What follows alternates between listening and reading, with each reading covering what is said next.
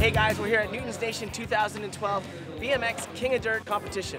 One of the great things about Newton's Nation is that it's not just for the pros, they also give the amateurs a really good go. Let's check out some of the action right now.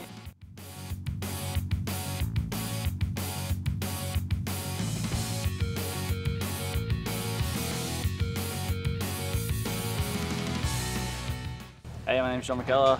Um, yeah, I was here last year, here for Newton's Nation. Uh, jumps are a different format from last year, a couple more hips, a bit more trail spec. This year it's more straight jumps, kind of got a lot more chance for doing some nice tricks.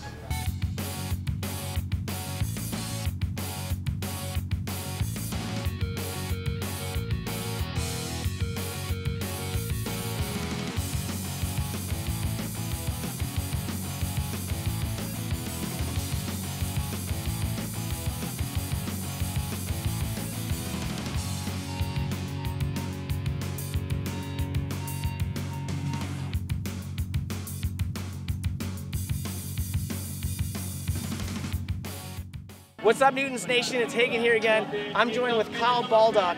Kyle, why don't you tell these guys what it's like just coming off an amazing season that you've just had? Oh, oh thanks. It's good to be here, you know yeah. what I mean? And uh, nah, last year was like a dream, you know, like I went in there, underdog, you know, came out, did pretty good, you know what I mean? And uh, and uh, it was just like to be overseas, you know, like to have that opportunity, exactly what Ryan was saying, you know, get over there.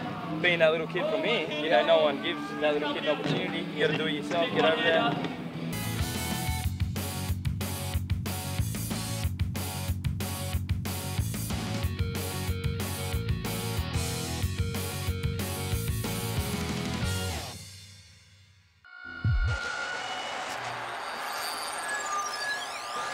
Thanks.